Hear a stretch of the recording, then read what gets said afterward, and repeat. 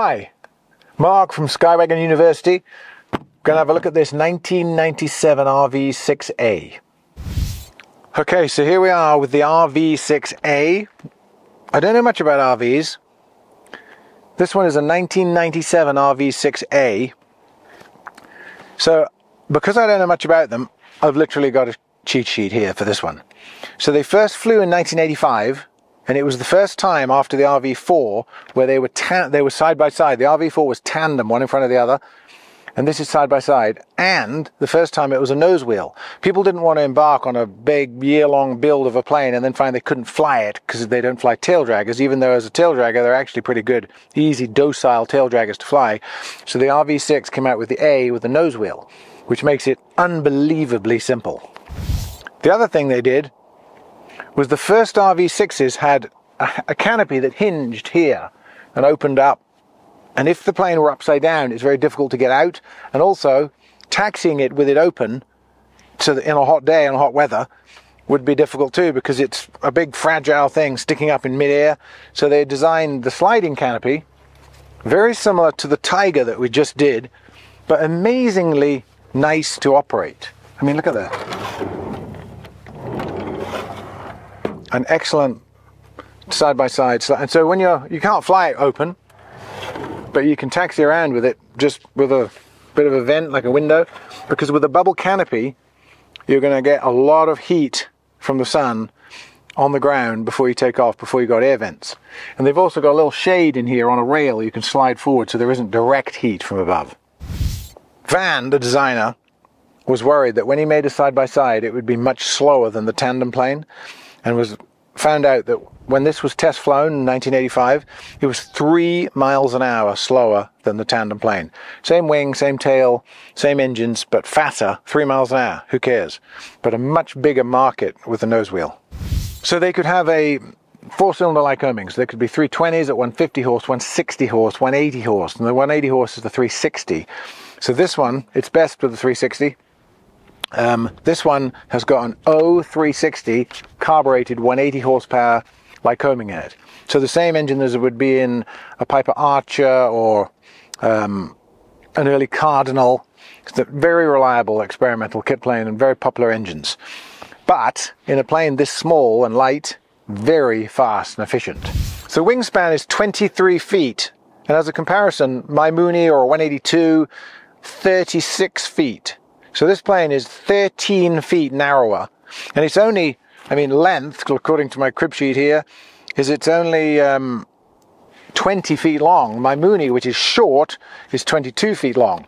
So it's, and low. It's like a six foot high on the top of the tail, and the tail draggers are even less because they're on the ground. So if you fill a hangar with planes, there's still room for an RV in it because they're so narrow and short and maneuverable on the ground. So talking about that, the nose wheel that's on them is free castering, just like on a Tiger. So if I were to push it sideways, it would just cast around to 90 degrees. So it's differential braking for steering, which would be the same in the tail dragger, because the tail dragger obviously has got no nose wheel. So fuel capacity is 38 gallons, two tanks, very conventional, one on each side, left, right, both off on the selector. So 38 gallons, and it burns 9 gallons an hour. So you can see the range, I've got exact numbers here, is fairly substantial at this speed. Um, useful load, empty weight's like 960 pounds, and the gross weight's about 1600 pounds. So there's about a 600 pound useful load with 38 times 6 pounds being used up by fuel. So two seats, and it's got a baggage area. The RV4s didn't. So I mean, the seat tips forward, though that wouldn't be how you access it. You access it over the top down here, but you can see in there, there's an area there that you could put some light bags and store headsets and things like that, which is much better than the earlier models. They're still small though, but they're small for a reason. They're small because they're fast and efficient. So rather than memorize all these numbers, I'm just going to read a few specifics uh, relevant to the differences between the RV6, the tail dragger, which I'll call the tail dragger, and this, I'll just say to this plane. So this plane is two miles an hour, three, two or three miles an hour slower than the tail dragger. The rate of climb on the tail dragger is 1790 feet per minute. That's impressive. And the uh, rate of climb at gross weight of this plane is 1740, so it's like 40 feet per minute, hardly any difference. The uh, landing distance, 500 feet on both. Takeoff distance, 475 feet on the tail dragger, 485 on the nose wheel. I don't know why a nose wheel makes you land longer. The range of the tail dragger, 720 statute miles. And this plane, 705. Nose wheel costs you five, 15 miles. So enough of this, enough of the cheat sheets, let's fly the plane. So here's the panel of it. Very, very well equipped IFR. A Garmin 175, which is like basically a 650 but without a com in it. VOR, autopilot, Dynon Skyview with synthetic vision. There's the runway. See the runway in the grass and we're off to the side. It knows exactly where we are. Garmin G5, a com, an iPad for ForeFlight, aileron trim controlled on the stick, elevator trim controlled on the stick. Barely needs it. The flaps are three stages. That's neutral. One touch is one, second touch is the next stage, third touch is the third, and then up is all the way up in one go. So let's um, get it running, see how it flies.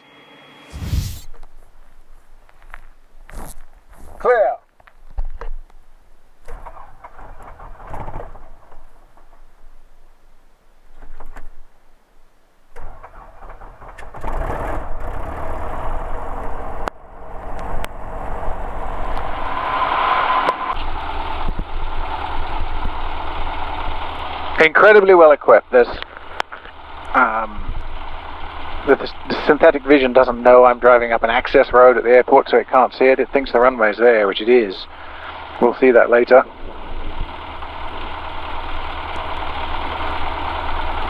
Engine analyzing, map, autopilot, GPS initializing, com, VOR, G5, the owner of this got a his instrument rating.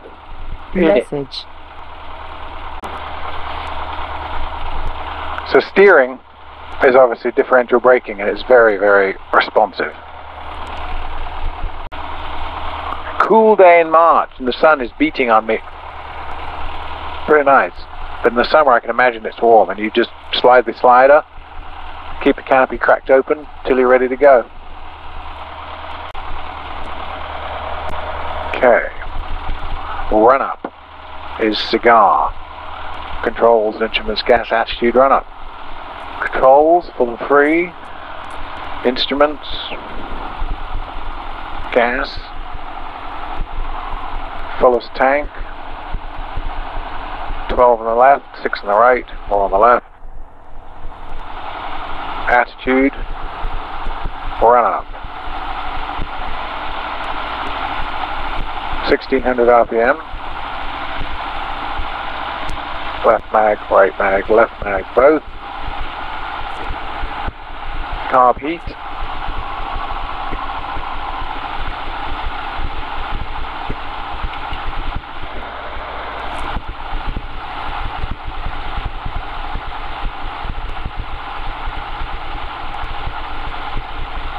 Radios on the correct frequency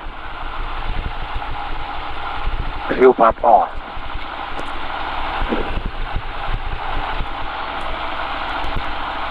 Placerville, uh, the 677 Delta Sierra is departing runway 23 for local flight to Placerville. Look at the visibility.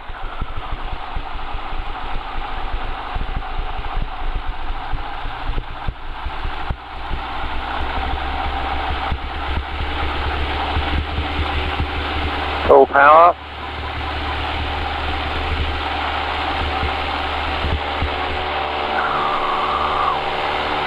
Doesn't waste any time getting off the ground, that's for sure. Look at the runway. Synthetic vision. Incredible. It's a little bit blustery today, so it's going to bob around. So if anybody hasn't been in one of these before, they are incredibly nimble. Very, very nimble. Tiny little inputs. I mean, if I wiggle the stick, it's like bam, bam, bam. Very, very nimble. And in vertical too.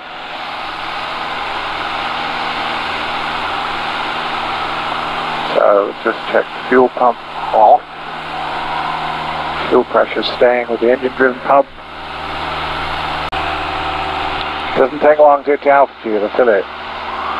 We're doing 90 knots. We're at 5,000 feet already.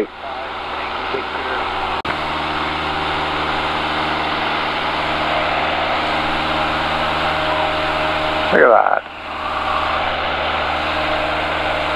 There's the view. Okay, RPM back to cruise. 22, 2300, economical.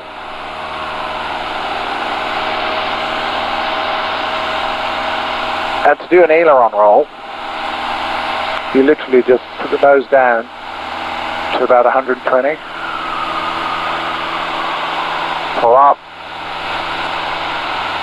and roll it. Right over like that. And roll it. Right over like that. And roll it. Right over like that. Which was enormously amusing.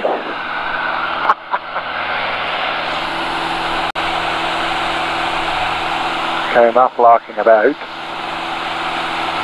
So it's fixed pitch, of course. You have to manage the RPM per descent. Top speed is 207 miles an hour in the descent. So I'll come around onto the downwind Placerville.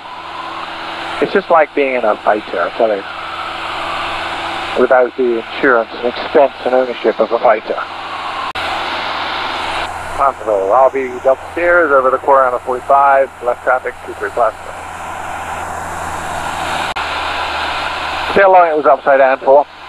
I mean, was three seconds total in the entire roll.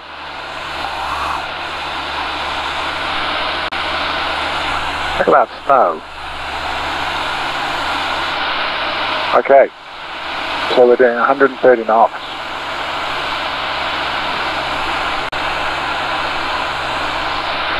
We're on a high downwind. Placerville. 7 Delta Sierras on the high, left downwind, 2-3 at Placerville.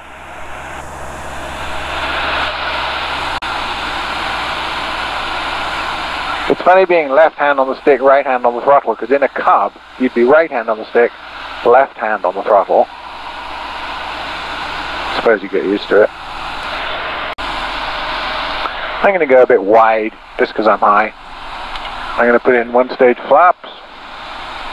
Notice I haven't touched the trim at all.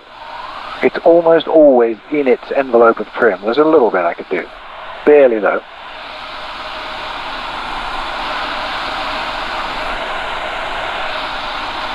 Placerville, Delta Sierra, turning left base to final for 2-3 at Placerville, full stop. Put down another stage of flaps. I'm with you about 10 miles to the north, be find the field, checking for wind. Okay. In, but then 520 Bravo was about 5 miles to the southeast, uh, full stop 30. Fuel pump on. Full flaps.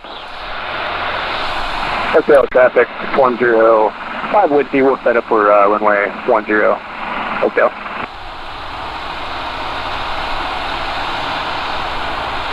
A little bit blustery today. Feet off the brakes.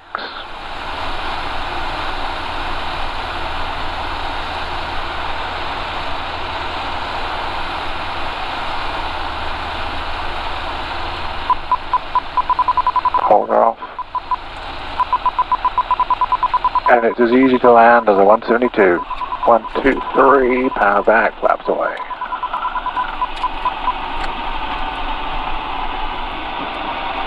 We made it.